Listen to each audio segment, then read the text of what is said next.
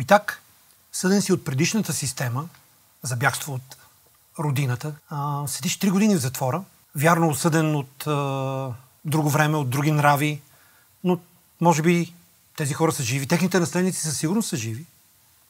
И ти, човек, намираш морални сили да развееш българския флаг на един от емоционалните еверести в света на сцената на Оскар. Моля те, обясни ми всичко това. Има нещо, което е по-силно от държавата. Казва се родина.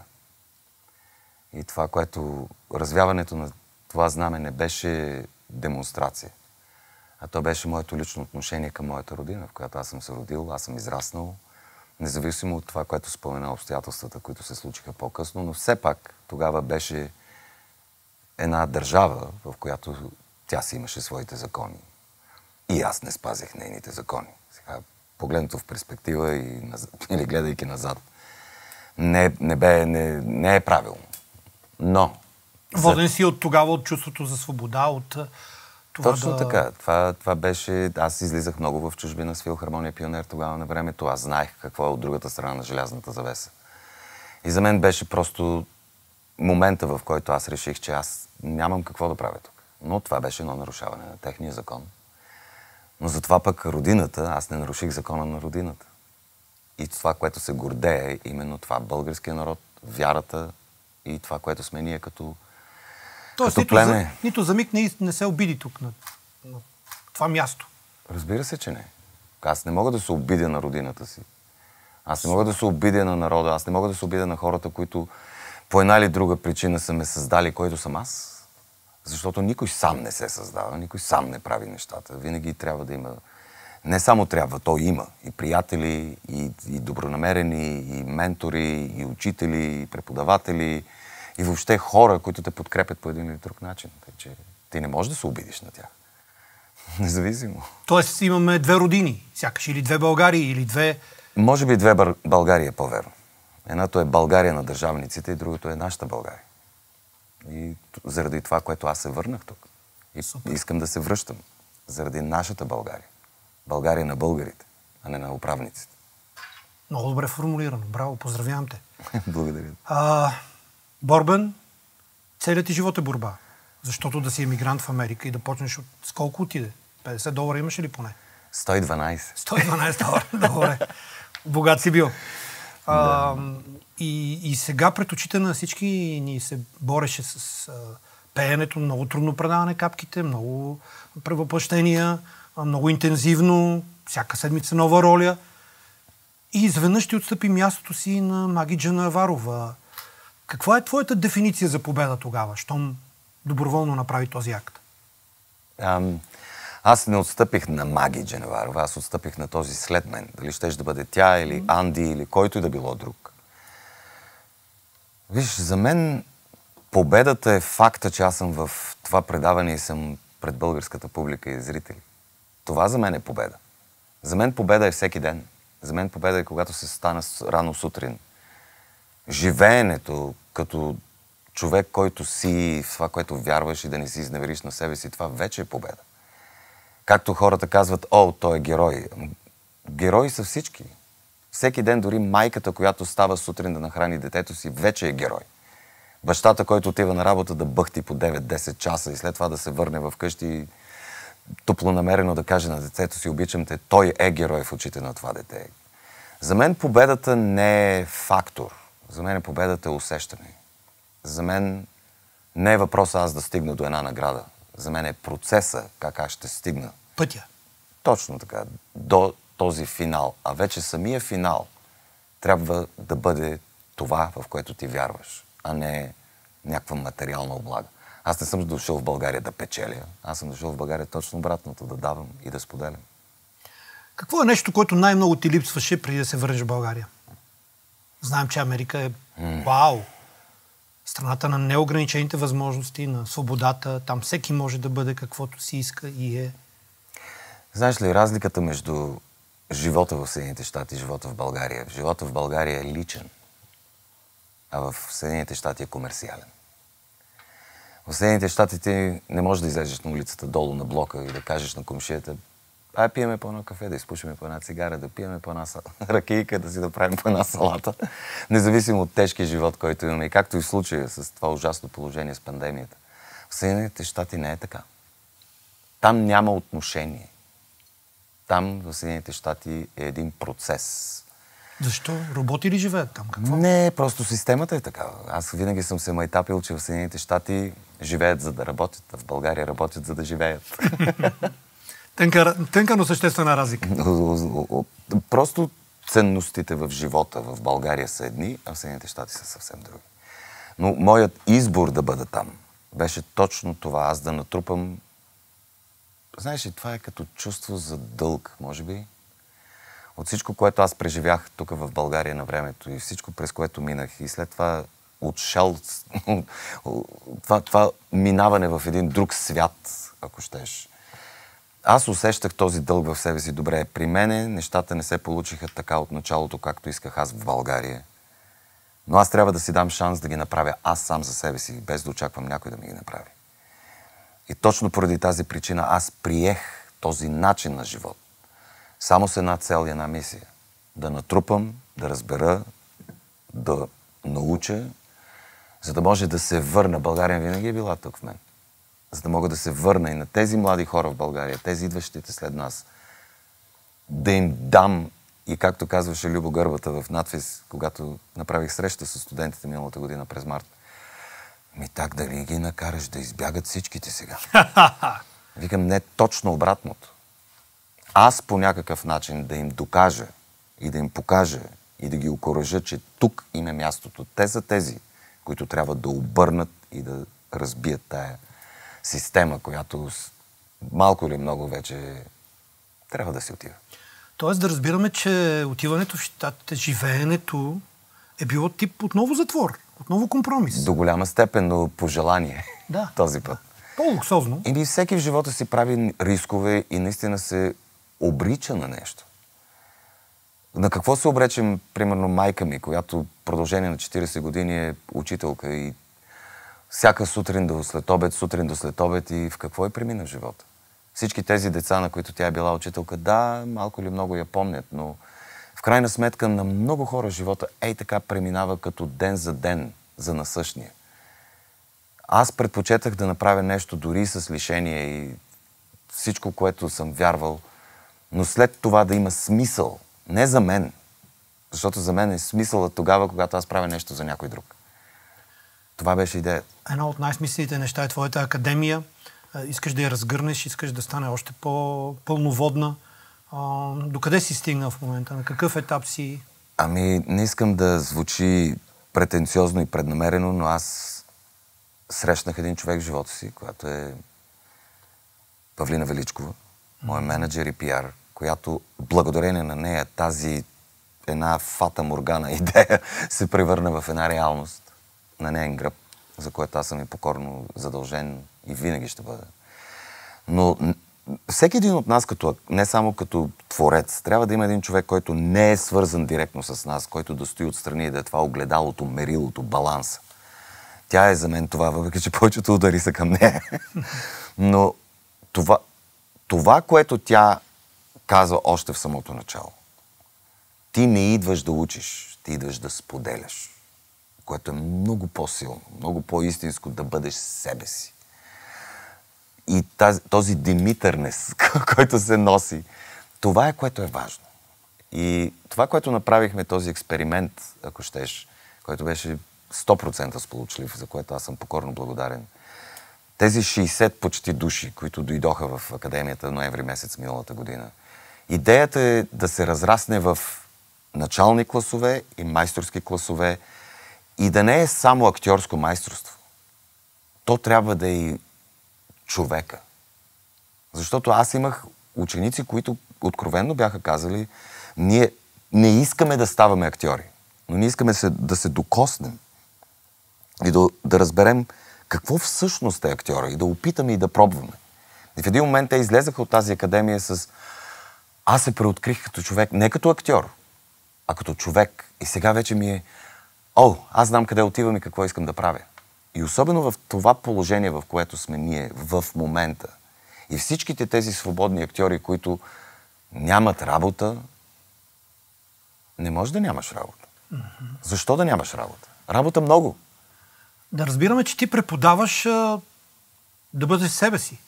Това е за мен, което е важно. Да преоткриеш себе Питър си. Фарели, казал си ми, а, в един от епизодите, когато снимате Зелената книга, ти нетърпеливо си искал, дай, какво да направя в този епизод?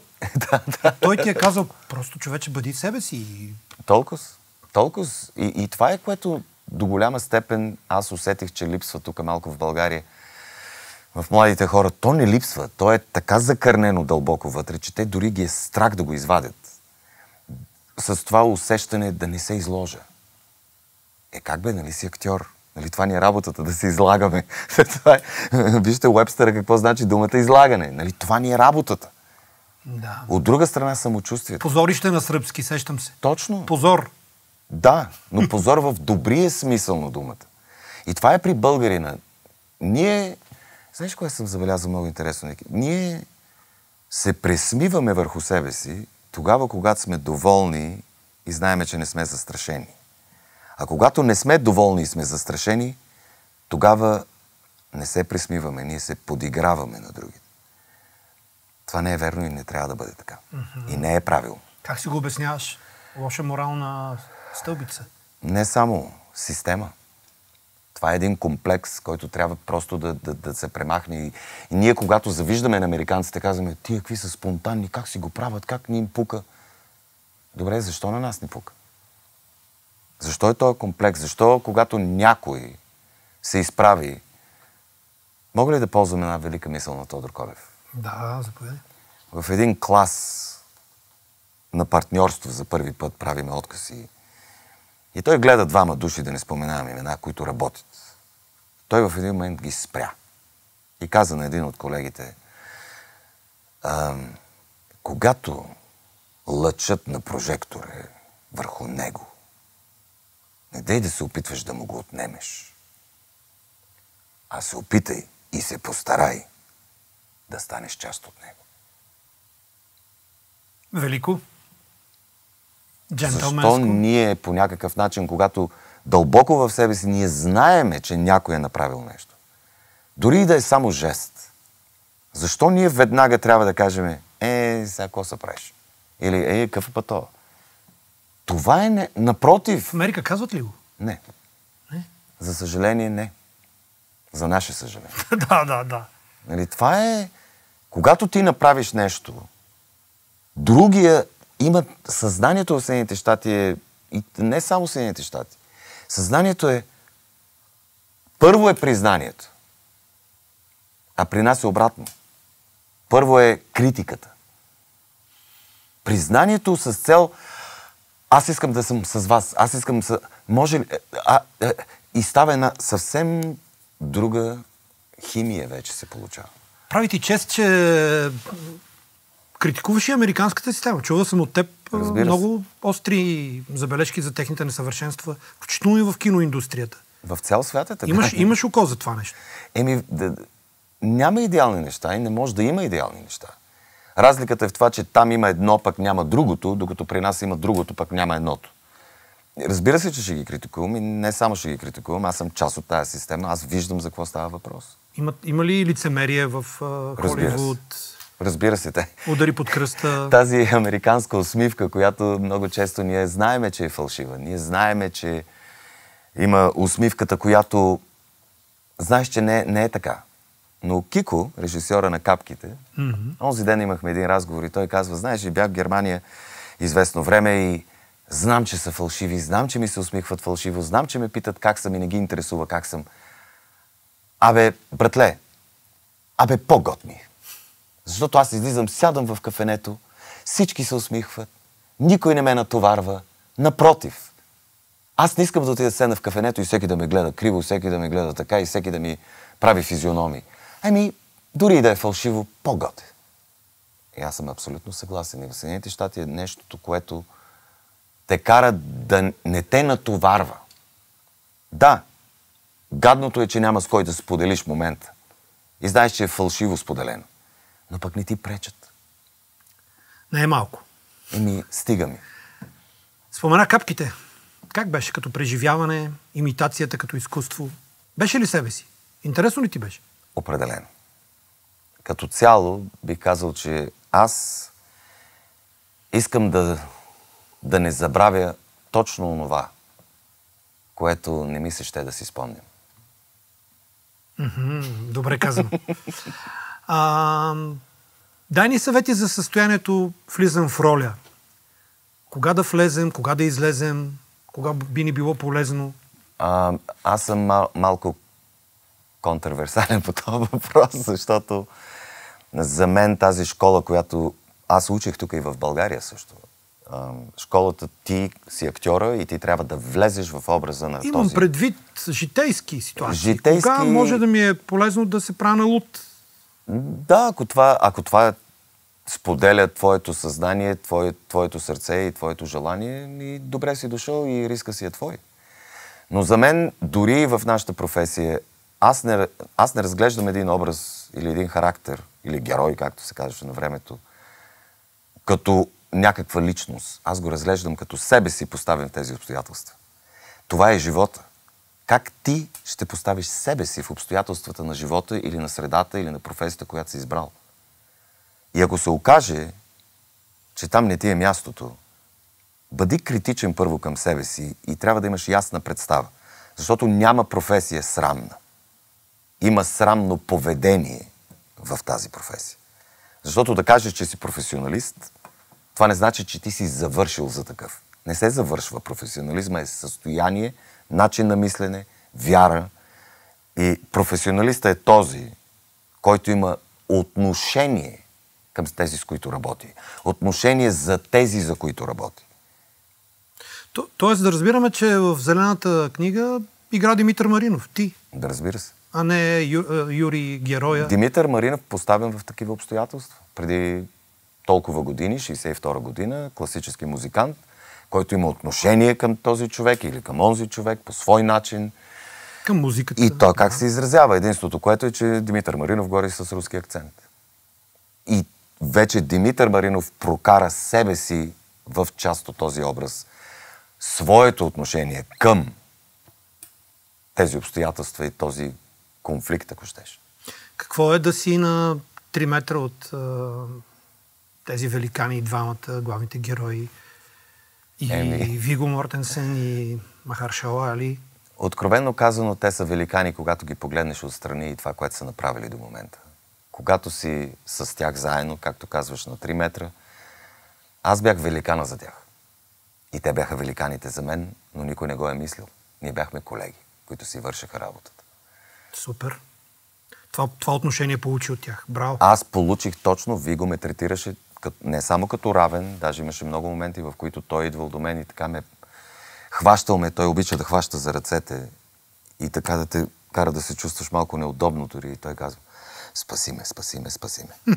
Благодаря ти. Нали, този он една сцена с цигарата. Кога... Да, да, да, да. Това беше един критичен момент. След това с Махършала имахме няколко моменти, в които той не свири на пияно.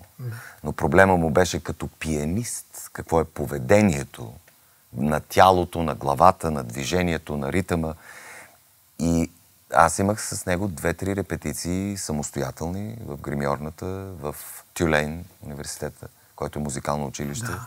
И имаше малко пиямо в неговата гримьорна, където ние седяхме буквално 2-3 часа на ден, в които аз го карах да си затваря очите и да усеща музиката, и аз да му чукам, да му спея, за да може той да усети това движение на това тяло при положение, че ръцете не работят.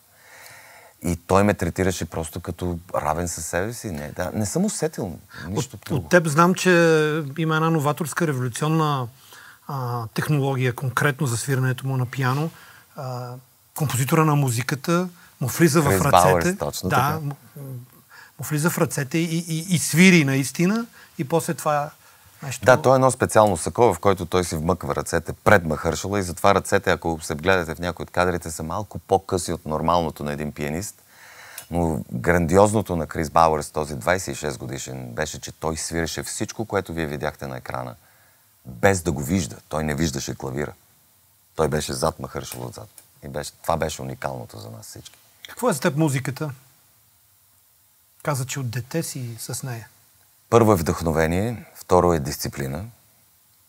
И музиката ме научи на систематично, систематична работа.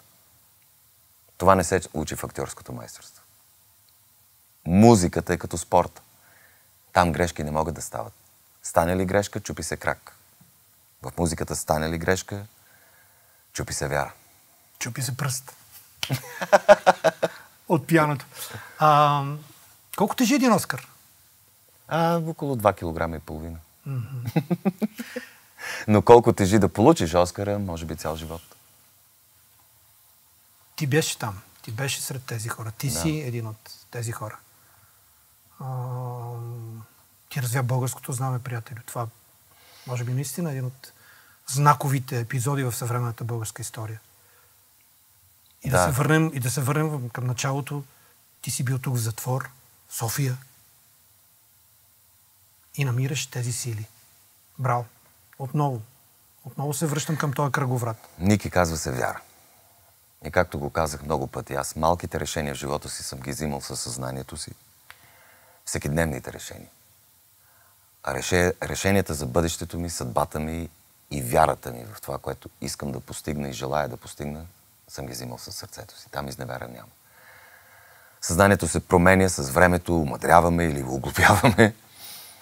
Е, обстоятелства променят съзнание, но сърце не се променя. Браво. Просто трябва да си вярваш. Браво. Защото много хора, и ти ги познаваш, и щатите навсякъде.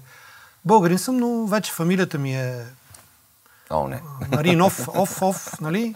О, не. или, или помнят неща, така, дават децата си в български училища, но малко и по-малко така залинява това в тях. Е, да, моя агент също ме така потисна, така потикна ме към момента да... Димитър, не е известно. В Съединените щати е Димитри, Деметрио, Димитриес, от гърците, от испанците, докато Димитър, те това не го знаят. И казваш, ще е много трудно, защото агентите да. много се притесняват нали, да, да, да. произнесат. Предложил ти да се прекръстиш. Да се прекръстя, при което аз му казах, аз по-скоро ще се откажа от тази професия, отколкото да се смени името. Това ми е името и остави ме аз да се погрежа. Супер. Има ли нещо в актьорската професия, от което се срамуваш? Предателството. Предателството на колега. Ние всички се стремим да бъдем оценени. И това е големия проблем на большинството колеги в България. Да бъдат оценени за това, което правят и което вършат. Но не е това толкова страшно. Предателството и неоценката от партньора ти, в който вярваш и с който работиш, това е много по-страшно. Виждал ли си хора да стъпват по трупове, така да се каже, да върват напред? Да... Разбира се, това е системата на комерциалното изкуство. Но дори и в комерциално изкуство, бих казал на всички мои колеги, те трябва да им е едно ясно. Няма сам юнак на коня. Поговорката вълкът му е дебел врата, защото сам си върши работата. Защото в крайна сметка, където и да стигнеш и да се, да се дето се казва, да се отрупаш в пари, в охол, в известност, mm. няма нищо по-страшно от самотата, която следва след това. Колко пари трябва да има един човек? Трябва да има точно толкова пари, които му позволяват да не гладува. Останалото не е важно. Аз мога да си позволя в момента и не, нека да не прозвучи нескромно, дори и да прозвучи, няма значение. Аз имам финансовата възможност да карам и Мерцедес, и БМВ, дори Панамера – аз карам малка економична Хонда. Защото тя ме кара от това место до това место, а другото мене не ме интересува. Аз имам възможност да, да се обличам в марки. Не се обличам в марки. Защото за мен има нещо много по-важно. Финансовите ми възможности са изцяло насочени към моите деца и тяхното бъдеще. А моят живот е такъв, какъвто си го искам аз и за мен ми е достатъчно да се чувствам комфортно Парите не са щастие, те не са и мотивация. И това го казвам и на моите студенти. Пари не е мотивация. То е награда за добре свършена работа. Ако ти си свършиш добре работата, ще бъдеш възнаграден така, както си си свършил работата. Парите са мотивация само на комарджиите и криминалните престъпници, защото те не работят за тях. Те ги взимат. Мотивацията за един човек не би трябвало да е пари, защото тя е празна, тя не е верна и тогава ходиш по трупове. Не. Твоята мотивация трябва да е това, което правиш и да имаш удовлетворението от това, което правиш, за да може останалите да имат удовлетворението от това, което са получили от теб. Добре, направил си нещо, но то няма успех. Разочарован си ти лично. Къде намираш сили да продължиш? Победителя? Знаеш, че, откъде знаеш, че следващия ден ще ти поднесе една книга и тя ще бъде зелена? Ники, според мен победителят е този победеният, който пробва отново. Напротив, ние трябва да имаме губещи моменти. Ние трябва да имаме тези моменти на Ах, не стана както исках. Еми добре, върни се и го направи както искаш.